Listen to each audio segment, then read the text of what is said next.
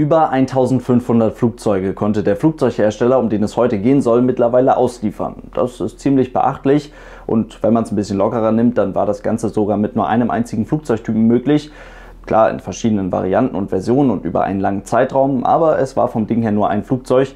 Und wirklich interessant wird die Tatsache dadurch, dass es sich dabei nicht um Boeing oder Airbus handelt und auch nicht um Embraer oder Bombardier. Also nicht um einen der vier größten Flugzeughersteller der Welt. Und zwar konnte dieser Meilenstein jetzt erreicht werden durch ATR. Und um die Flugzeuge von ATR haben wir uns hier auf diesem Kanal ehrlich gesagt noch nie so wirklich gekümmert. Das wollen wir jetzt mal ein bisschen nachholen und sprechen mal über diesen Flugzeughersteller und deren sehr erfolgreiches Flugzeug.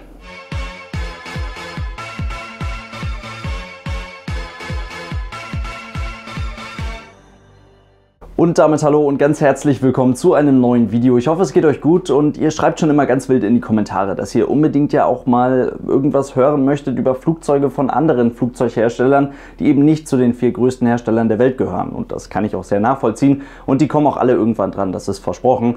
Aber ich denke mal, mit ATR machen wir heute schon mal einen guten Anfang. Diesen eben genannten Meilenstein, den erreichte man bei ATR schon Ende Oktober. Ist ja aber auch erstmal egal. Interessant ist, man lieferte über 1500 Flugzeuge vom Typ ATR ATR 42 bzw. ATR 72 aus. Aber was ist das überhaupt für ein Flugzeughersteller? Denn so ein wirklich eigenständiger Laden ist das ja nicht. Denn ATR, das Unternehmen ATR, entstand durch den Zusammenschluss von verschiedenen Unternehmen, die den Wunsch hatten, ein gutes, gut funktionierendes, Turboprop-getriebenes Regionalflugzeug zu bauen. Denn das, was es zu dieser Zeit rund um 1980 so an diesem Markt an Flugzeugen gab, das kam so wie fast alles zu dieser Zeit in der zivilen Luftfahrt vom amerikanischen Kontinent. Der Flugzeughersteller Hersteller de Havilland Canada baute zu dieser Zeit eine DHC-6, besser bekannt unter dem Namen Twin Otter. War lange übrigens das erfolgreichste Flugzeugprojekt in Kanada. 1975 brachten die dann die DHC-7, ein 50-sitziges Turboprop getriebenes Regionalflugzeug mit vier Triebwerken übrigens, um auch genug Kraft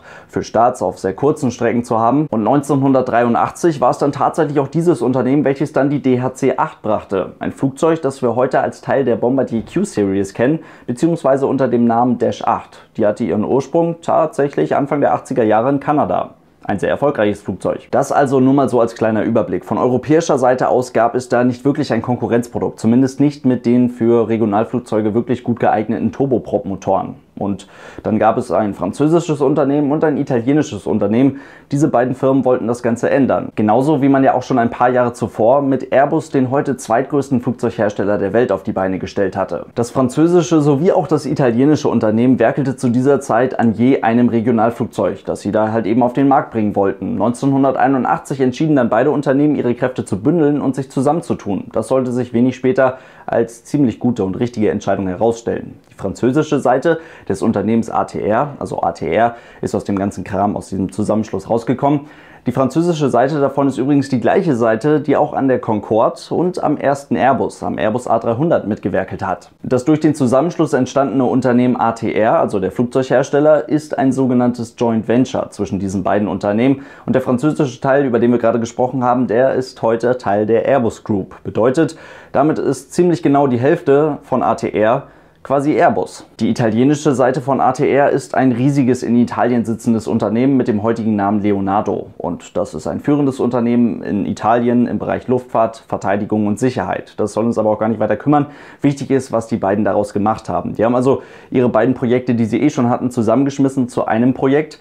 Und was dabei rauskam, war Anfang der 80er Jahre die ATR 42. Übrigens, der Name ATR ist selbstverständlich eine Abkürzung, lässt sich genauso im Italienischen wie auch im Französischen verwenden. Aber bevor ich das jetzt richtig ausgesprochen habe, habe ich mindestens 50 D-Abos oder einen Knoten in der Zunge, deswegen schreibe ich euch das einfach mal unten rein, wie das richtig heißt ausgeschrieben. Aber gut, im November 1981 startete jetzt also ganz offiziell das Projekt ATR 42. Dabei baute die italienische Seite des Unternehmens alle möglichen Flugzeugteile bis auf die Tragflächen und das machen sie auch heute noch so. Die Tragflächen werden dann von einem ja, hundertprozentigen Tochterunternehmen der Airbus Group gebaut in Frankreich bedeutet, auch hier steckt wieder eine ganze Menge Airbus mit drin. Die Endmontage findet dann in Toulouse bei ATR selbst statt, also auch hier wieder in direkter Nachbarschaft zum Flugzeughersteller Airbus. Und von dort aus, von Toulouse aus, werden die Maschinen dann auch ausgeliefert. 1984 feierte die ATR 42 dann ihren Erstflug. 1985 wurde die Maschine beim Erstkunden Air Littoral in Frankreich in Dienst gestellt. Das Flugzeug ist dabei fast 23 Meter lang und auch ungefähr genauso breit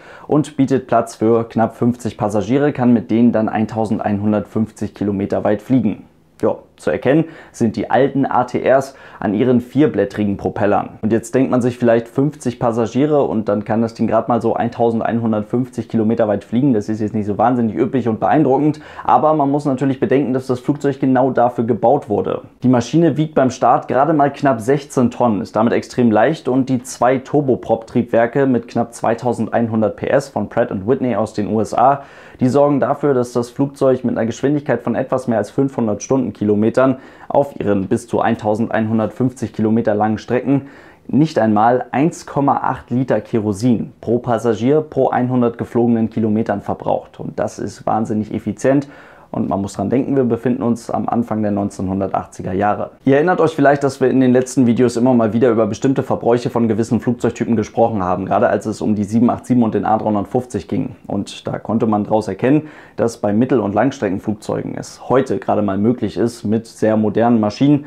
unter die 3 Liter Kerosinverbrauch pro 100 Kilometer pro Passagier zu kommen. Auf der Kurzstrecke war und ist das zwar immer eine ganze Ecke weniger, aber das, was die ATR 42 da Anfang bzw. Mitte der 80er Jahre hingekriegt hat mit den unter 1,8 Litern, das ist schon ziemlich beeindruckend und galt schon da als höchst effizient. Ich habe es aber eben schon mal angedeutet, die ATR ist auf den für sie gebauten Strecken nee, andersrum, auf den Strecken, für die sie gebaut wurde, mit etwas mehr als 500 Stundenkilometern natürlich vergleichsweise langsam. Da kann man auch schneller fliegen, aber wenn es um Effizienz geht, dann gibt es wenig effizientere Möglichkeiten als ein Turboprop getriebenes Flugzeug. Ab 1995 lieferte ATR dann die nochmals überarbeitete Version der ATR 42, das war dann die ATR 42500, die eben daran zu erkennen ist, dass sie kein Vierblattpropeller hat, sondern ein Sechsblattpropeller. Das sorgt hier nochmal für eine Ecke mehr Effizienz, aber das Ding ist vor allem deutlich leiser als der vorherige Typ.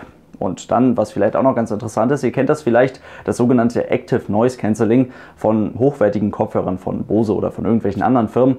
Da ist es ja so, dass ein Mikrofon am Kopfhörer die Umgebungsgeräusche für euch aufnimmt und dann euch in Echtzeit quasi entgegengesetzte Schallwellen ins Ohr haucht, so dass ihr dann gar nichts mehr bzw. deutlich weniger hört. Und das kann vor allem gleichmäßige Geräusche wirklich gut dämpfen. Und genau dieses Active Noise Cancelling System, das gibt es in der Flugzeugkabine der ATR. Sowas nennt sich dann umgangssprachlich Antischall, der da produziert wird. Also die ATR-Flugzeuge können tatsächlich genau das gleiche wie diese Kopfhörer. Es gibt in der Flugzeugkabine ein Active Noise Cancelling. Das Flugzeug sorgt so dafür, dass die Propellergeräusche für die Passagiere innen drin nicht so laut hörbar sind, wie sie es eigentlich wären. Und das erhöht selbstverständlich den Komfort. Und mittlerweile ist, glaube ich, unschwer zu erkennen, dass das ein wirklich gut durchdachtes Flugzeug ist. Und ja, so interessant andere Regionalflugzeuge wie zum Beispiel der Jumbolino mit vier Strahltriebwerken ja auch sein mögen. Das sind nun mal Flugzeuge, die mit Jetantrieb nur etwas bessere Leistungswerte erzielen können, gleichzeitig aber deutlich mehr Kerosin verbrauchen. Und deswegen war der Flieger auch recht schnell wieder weg vom Fenster und nicht ganz so erfolgreich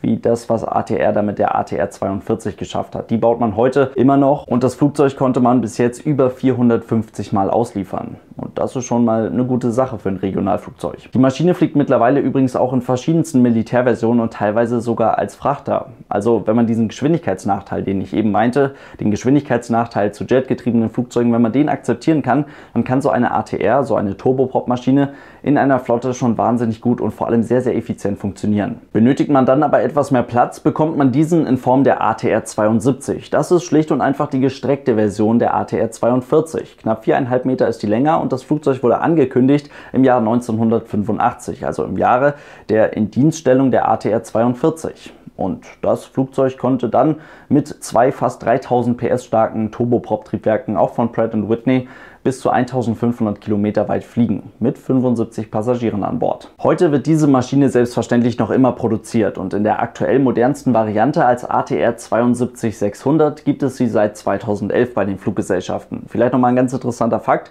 eine ATR hat zumindest in der Standardausstattung keine Hilfsturbine, kein Hilfstriebwerk, keine Auxiliary Power Unit bzw. APU. Stattdessen lässt sich aber die Propellerwelle, also der für uns quasi von außen sichtbare Teil des rechten Triebwerks Triebwerkes der ATR bis zum Stillstand abbremsen, während der innere Teil des Motors, also die eigentliche Turbine, weiterläuft und somit das Flugzeug am Boden versorgen kann. 2012 konnte man so bereits die 1000. ATR ausliefern und jetzt im Oktober 2018 war es dann soweit, dass man die 1500. ATR ausliefern konnte und das war eine ATR 72600 und diese spezielle Maschine ging an Japan Air Commuter. In Zukunft wird sich der Flugzeughersteller ATR vor allem auf den fernen Osten konzentrieren, denn dort sieht man ein wahnsinnig großes Potenzial für Regionalflugzeuge. Ob man dafür nochmal eine neue, überarbeitete Version, vielleicht sogar komplett neue Version eines ATR-Flugzeuges bringen wird, das ist nicht ganz klar beziehungsweise vielleicht lässt man sich auch einfach noch ein bisschen Zeit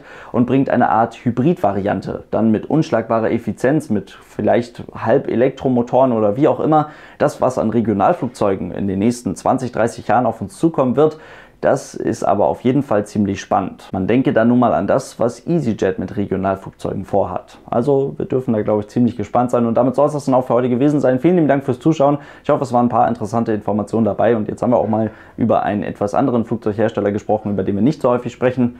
Und ja, dann sehen wir uns hoffentlich morgen bei einem neuen Video wieder. Bis dahin, lasst es euch gut gehen. Ich freue mich auf eure Kommentare zu den ATR-Flugzeugen. Bis morgen und tschüss.